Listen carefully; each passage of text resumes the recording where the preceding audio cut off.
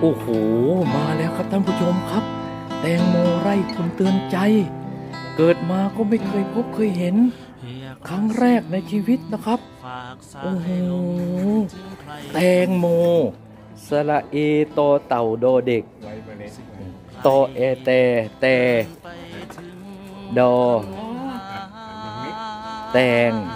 แตงโมโอ้ไรเมล็ดนะครับ โอ้โห เป็นทุกอย่าง เเป็นสารอินทรีย์ไม่มีสารเคมีนะครับครั้งแรกแล้วก็ผมก็จิบกับกาแฟอเมริกาโน่นะครับ แล้วก็มีชา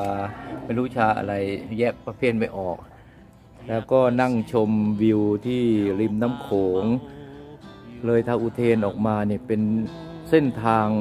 น้ำโขงเส้นทางนาคราช ของประเทศไทยที่กำลังก่อสร้างมา ได้ยินว่าตั้งแต่เชียงรายมานะไม่รู้ถูกรู้ผิดนะคือน้ำโขงมีที่ไหนเขาจะทำเป็นเส้นทางพญานาคราช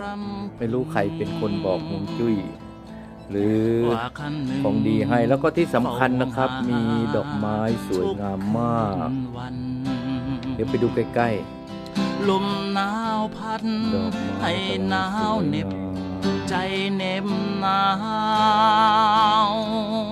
ปวนรัวราวเศร้าตอมต้มขมใจฝัน อยากกระซิบหมอกอุ่นไอน้ำค้างพัน คืนและวัน มีอาจลมชมบังอ่อน